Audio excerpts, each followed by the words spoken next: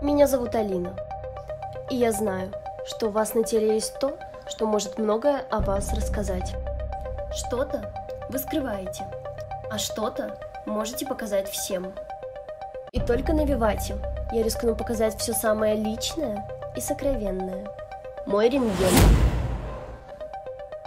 Я всегда была тем самым ребенком, который не мог усидеть на месте.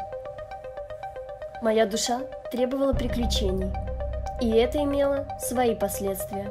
Пять лет я пошла на плавание. У меня хорошо получалось, и мой тренер отправил меня на соревнования. Во время заплыва я так старалась, что врезалась в бортик. И я заработала сотрясение. Я поняла, что плавание не так уж мне и нравилось. Недолго думая, я решила попробовать себя в танцах. И это было оно.